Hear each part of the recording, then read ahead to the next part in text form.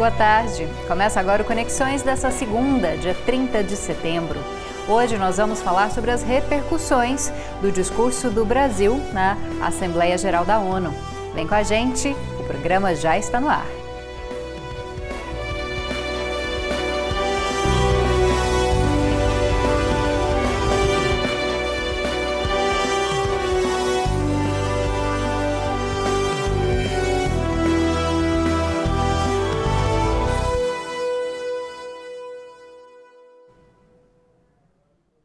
Seja bem-vindo e bem-vinda você que nos assiste ao vivo na TV UFG ou nos acompanha em qualquer dia e horário no YouTube.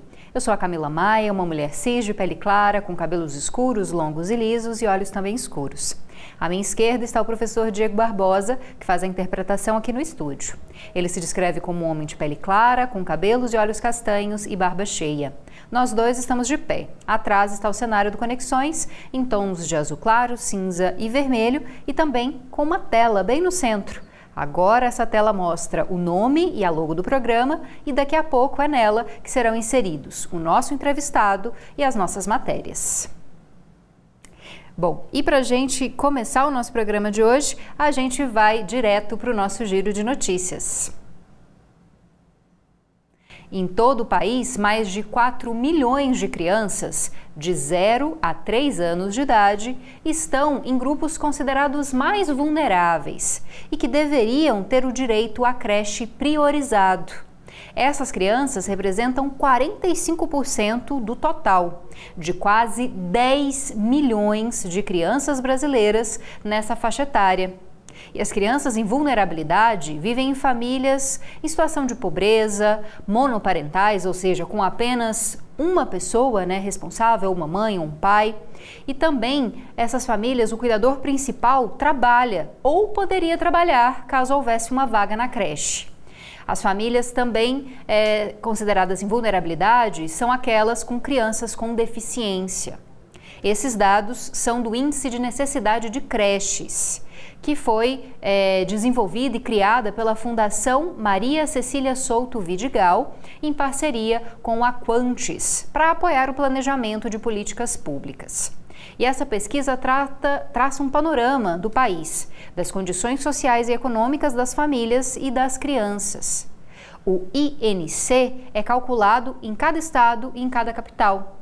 E, por exemplo, ele mostra que o Piauí é o estado com a maior necessidade de creches, com 53% das crianças em alguma das situações consideradas nesse estudo como prioritárias. Já Rondônia é o estado com a menor porcentagem de crianças nessas condições, com 32%. E agora falando de eleições, os eleitores que não estiverem nas próprias cidades, nas cidades em que votam, né, no primeiro e no segundo turno das eleições, não poderão votar. Essa restrição ocorre porque não há possibilidade de voto em trânsito nos pleitos municipais.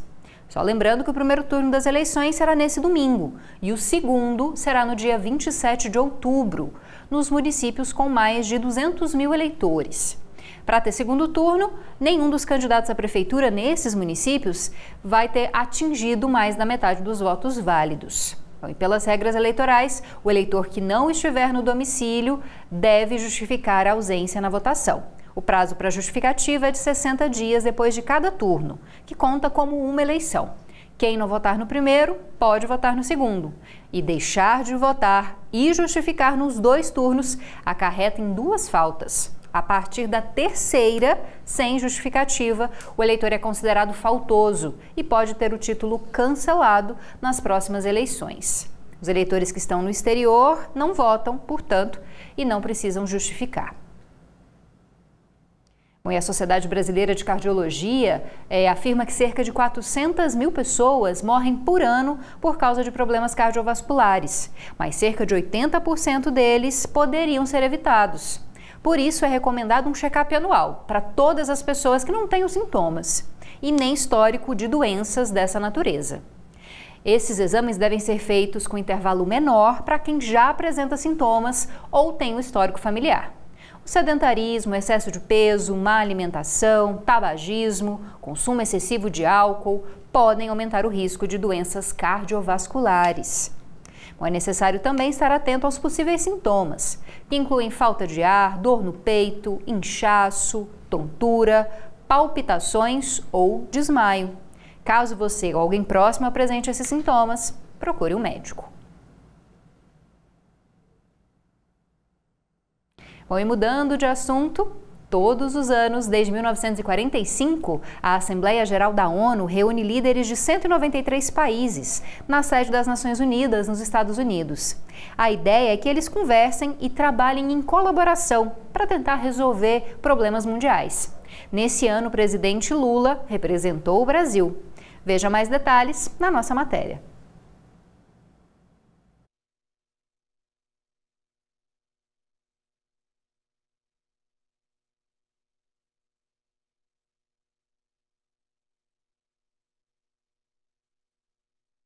Janaína está aqui paralisada né, na nossa tela.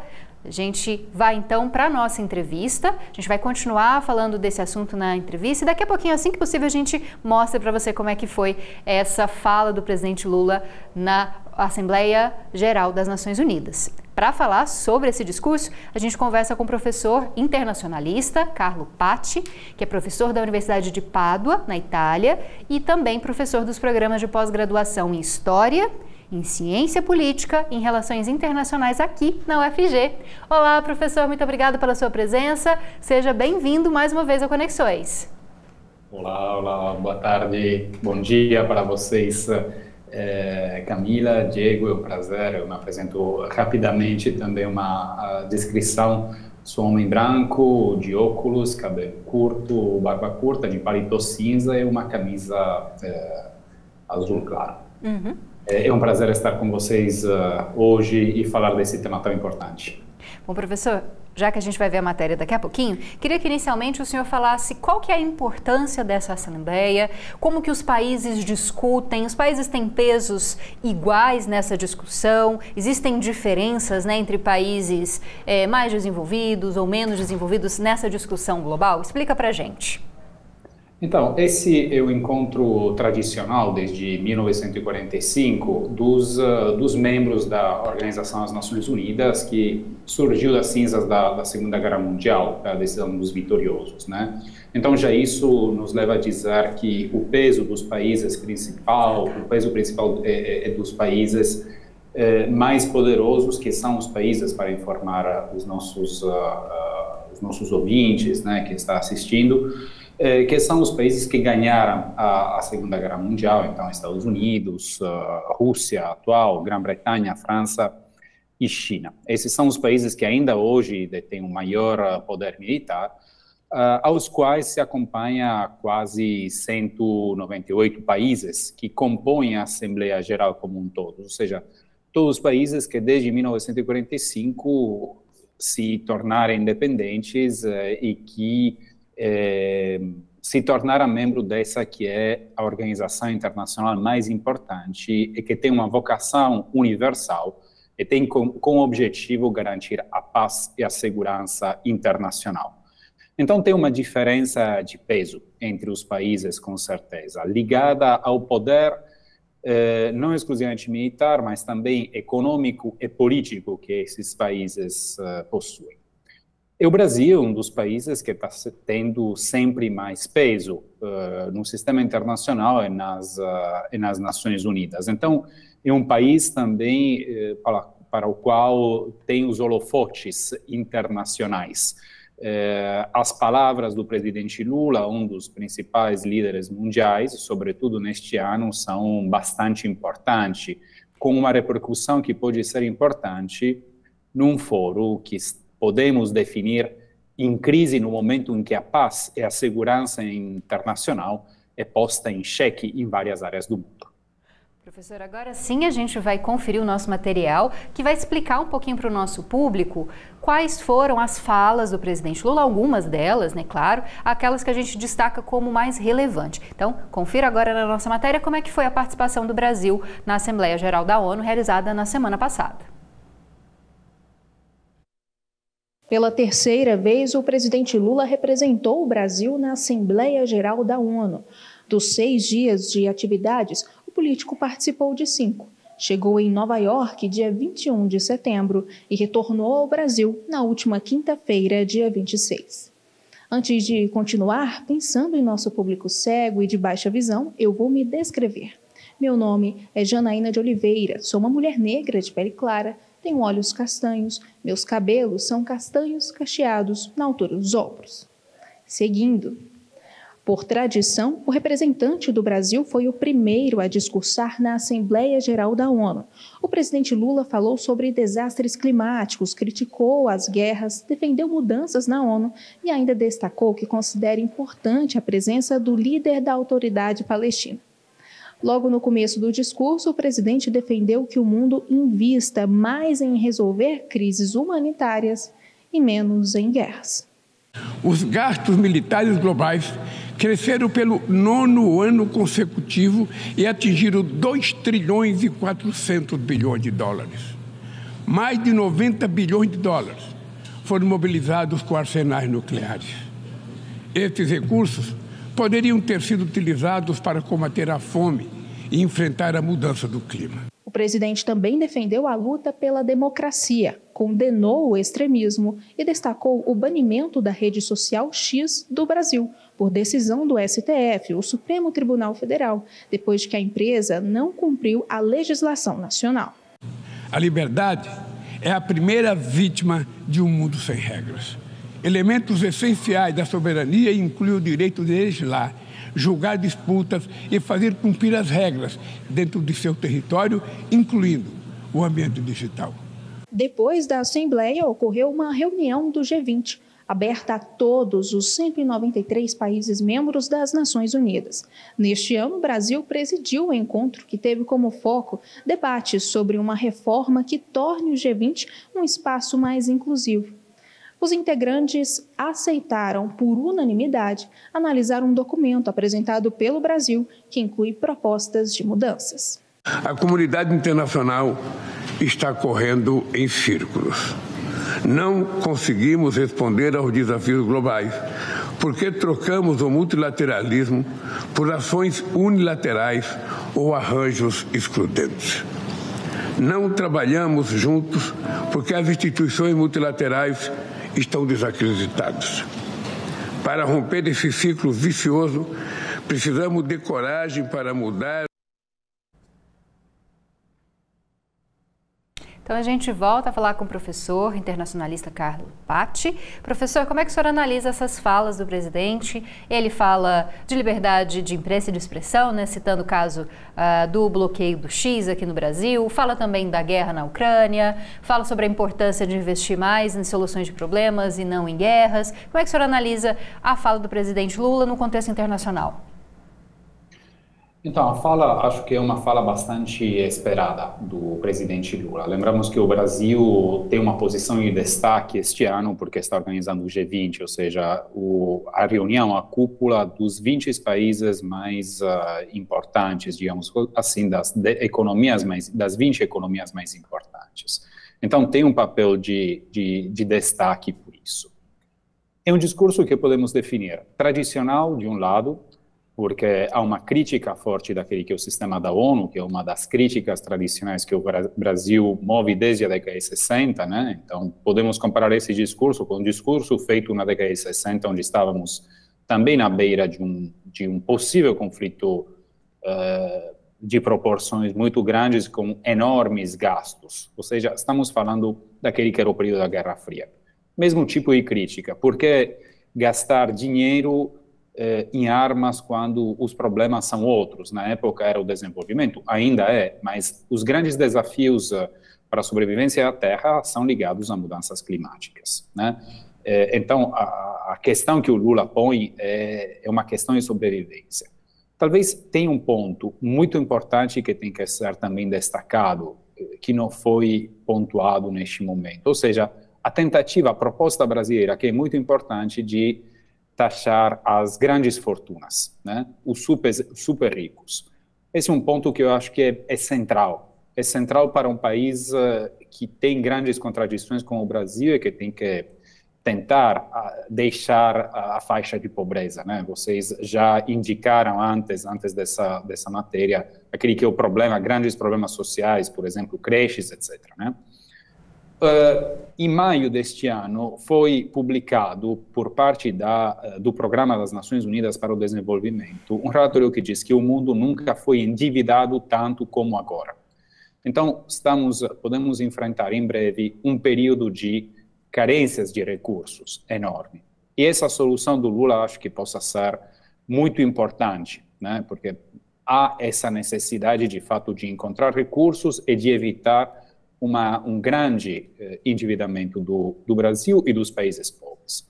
O outro ponto importante é que o Lula colocou é claramente aquele das, uh, das guerras. Né? Esse é um ponto tradicional. O Brasil se coloca como um país mediador, mas claramente protege aquela que é a causa do povo palestino. A, a primeira referência que o Lula fez foi cumprimentar o presidente da Autoridade Nacional Palestina.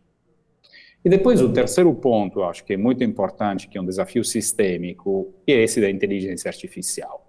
É um desafio sistêmico que não é ligado exclusivamente ao problema do X, mas aquele que é um desafio que é interno, doméstico, de como regulamentar a inteligência artificial, que possui uh, uma centralidade na, no nosso dia a dia, mas também naquelas que são as transformações uh, globais. Então, esse é um sistema importante. Hoje é o X, amanhã pode ter, ser outra tecnologia. Então, acho que esses são pontos muito importantes que, que, o, presidente, que o presidente Lula abordou e que são de difícil solução. Então, um discurso entre a tradição e aqueles que são os desafios do futuro.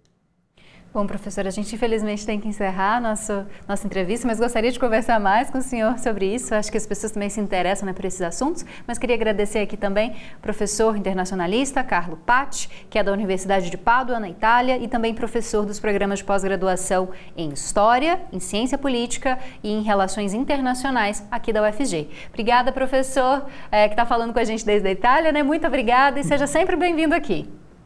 Eu que agradeço. É um prazer estar com vocês. Bom, e a gente continua o Conexões falando um pouco do nosso cenário aqui local. O governo de Goiás criou o programa Quita Goiás, que permite a negociação de dívidas tributárias relacionadas a ICMS, ao IPVA e também ao ITCD, que é o Imposto de Transmissão Causa Mortes e Doação.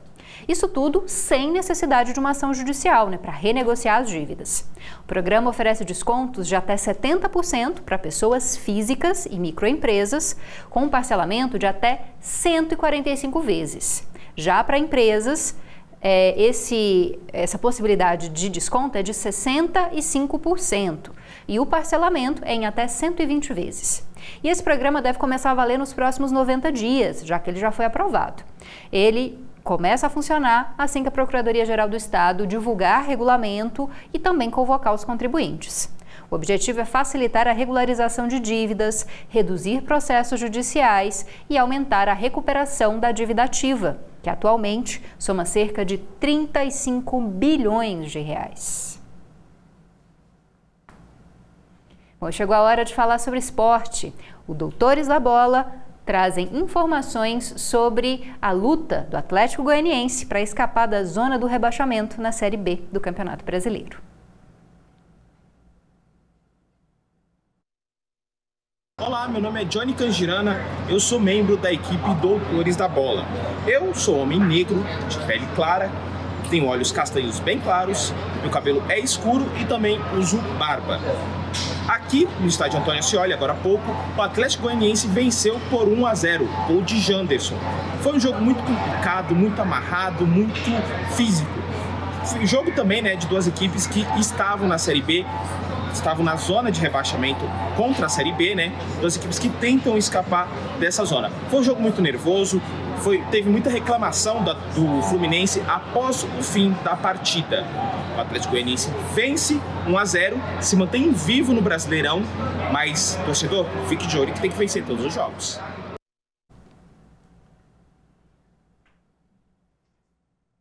Bom, o nosso programa está chegando ao fim. Eu e o professor Diego ficamos por aqui agradecendo a sua presença, a sua audiência.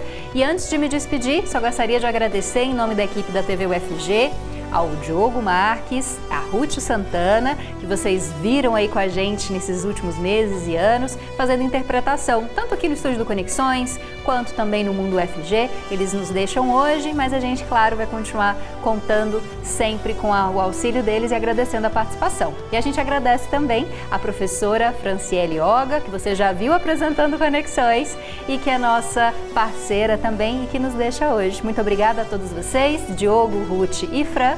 E a gente, claro, espera encontrar vocês em outro momento do caminho.